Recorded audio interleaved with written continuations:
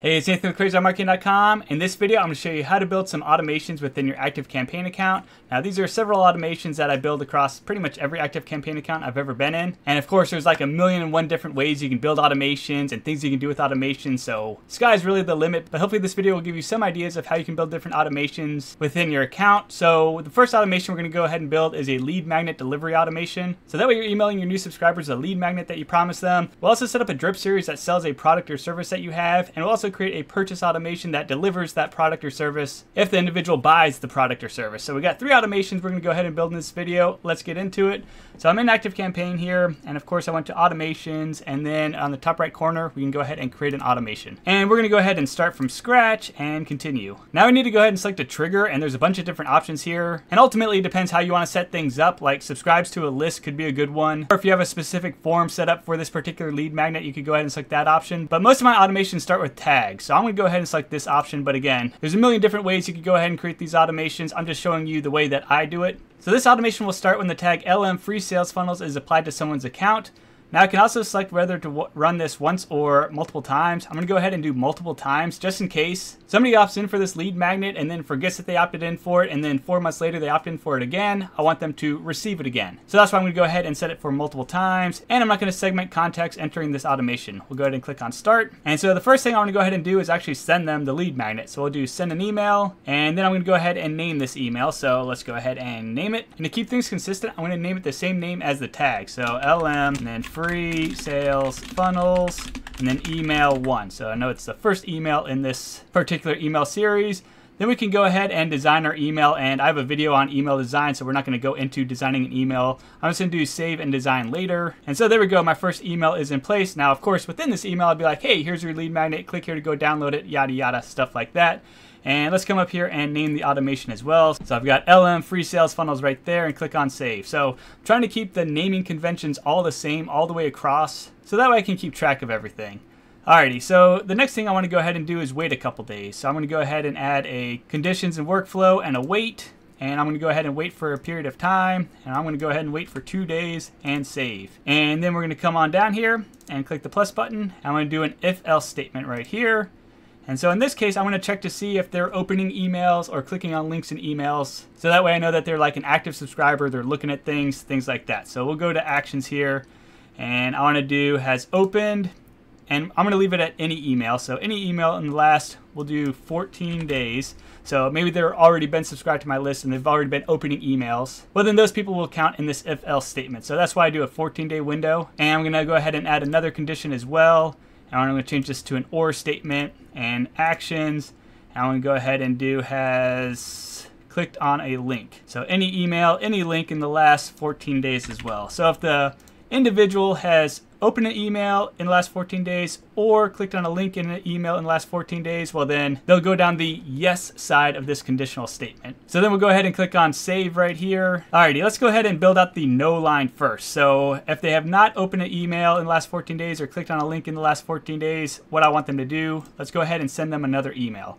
So we'll go ahead and send an email and in this case, this will be the second email in this series. So we have LM Free Sales Funnels Email 2. I'm gonna go ahead and save and design this one later as well. Alrighty, so of course in this one I'd be like, hey, a couple days ago you requested this lead magnet. Doesn't look like you downloaded it. Here's a link to it again. And yada yada yada, stuff like that. Alright, then I'm gonna go ahead and do another wait here. So I'll do a conditions and workflow, wait.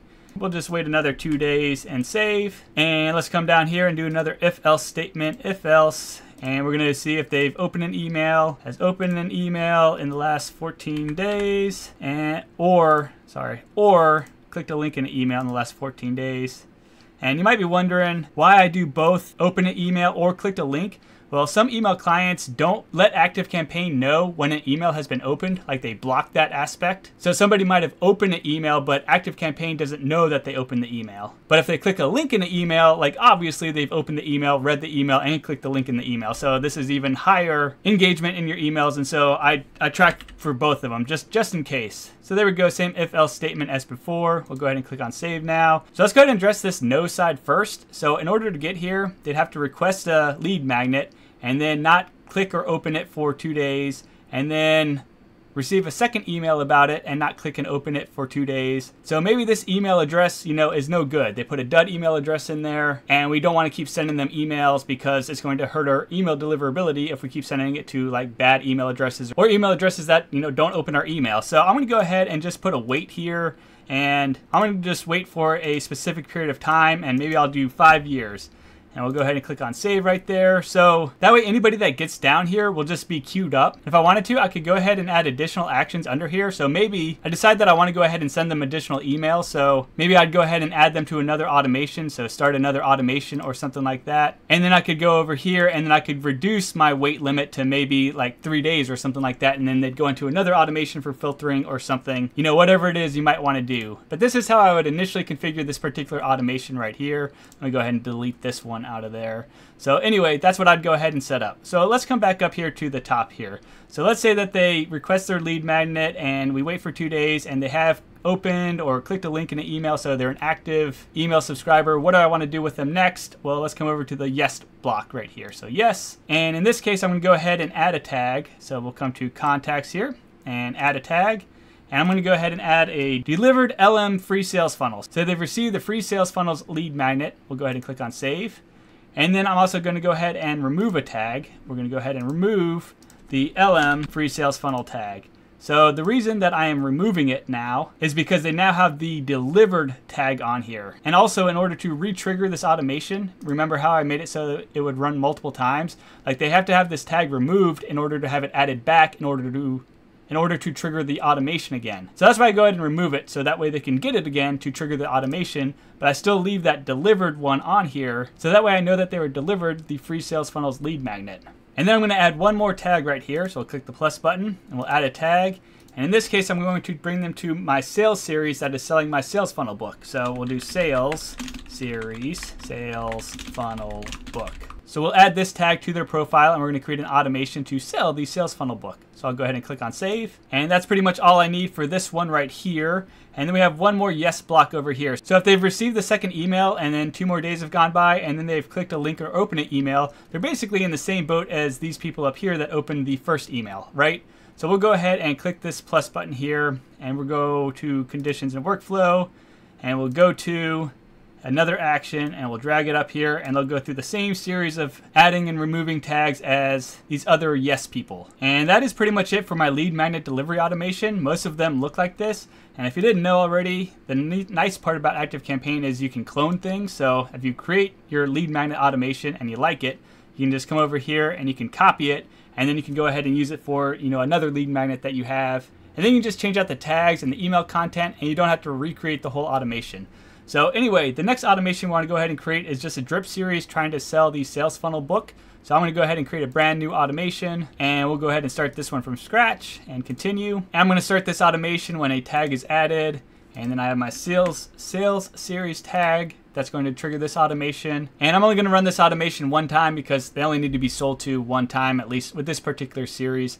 So we'll go ahead and do add start. And then the first thing we'll go ahead and do is send them an email. So using the same naming convention as my tag, we have sales series, sales funnel book, and then email one. And then I'd go ahead and create my email, you know, try and sell my book, but we'll do save and design later. And let's go ahead and name our automation up here before we forget. So come up to the top and sales series, sales funnel book, save. All right, and then we'll just go ahead and add in another wait and we'll wait for a couple days and save and then we'll go ahead and send email number two trying to sell our sales funnel book and maybe we'll go ahead and wait for another couple days and try and sell it one more time. So let's go ahead and send an email and this would be email three and save and design later. Alrighty, so we now have three emails being sent to our subscribers over the course of about four days trying to sell our sales funnel book. And as you can see, it's a pretty straightforward automation, but we do want to add a couple things to it.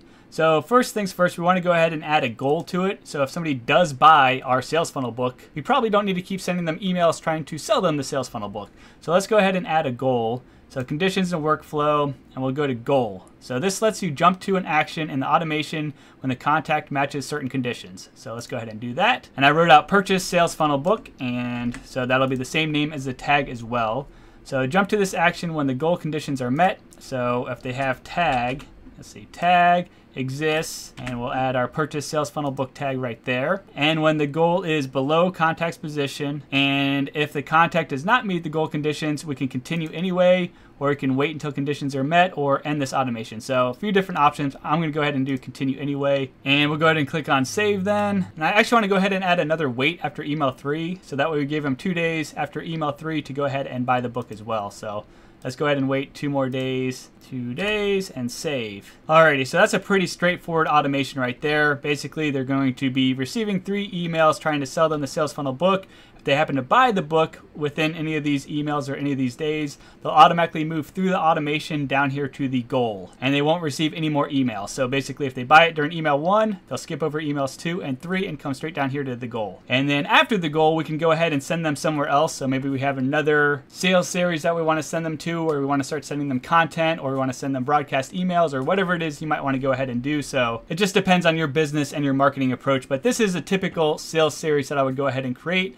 Now let's go ahead and create an automation for if they actually buy the book. So let's go ahead and come out to automations here and we'll go ahead and start from scratch again and continue. And like my other two automations, I'm gonna go ahead and trigger this one when a tag is added. So tag is added and this one would be purchase sales funnel book right here and I'm going to go ahead and leave it on runs once because they should only really need to buy this one time.